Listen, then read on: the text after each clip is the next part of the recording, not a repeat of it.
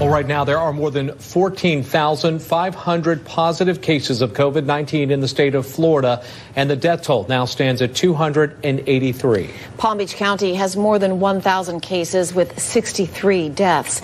As the virus spreads, our community is taking precautions by using gloves and masks when grocery shopping, but as many of us have noticed, a lot of people aren't throwing those gloves and masks in the trash can after using them. Yeah, instead, they are ending up in parking lots and on the floor. Our Kristen Chapman shares why experts say it's not only a health problem for humans, but it's bad for the environment.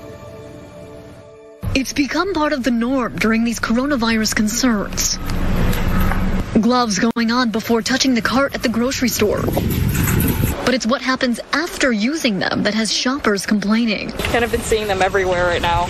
All over social media, images like these gloves and masks littering the ground. And we saw this at several spots around West Palm Beach. Now that we're trying to take care of ourselves, that we're not trying to take care of the environment too, and kind of just leaving these things all over the place. And she's right about the environmental concerns. 4Ocean CEO Alex Schulze says the plastics used in these gloves can take years to decompose, and there's a high likelihood they could end up in our beautiful ocean.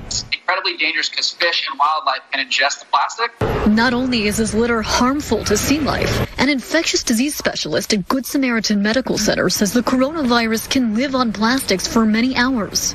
Which means the items meant to protect one person can actually infect another when thrown on the ground. Wasteful in many, many aspects and ex- potentially exposing other folks to infection because the virus thrives on plastic.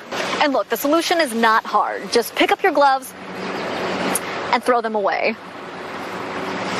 If you want to go glove free altogether, Dr. De Almeida says washing your hands with soap and water or using hand sanitizer is the most effective at killing the virus. Reporting from West Palm Beach, Kristen Chapman, CBS 12 News.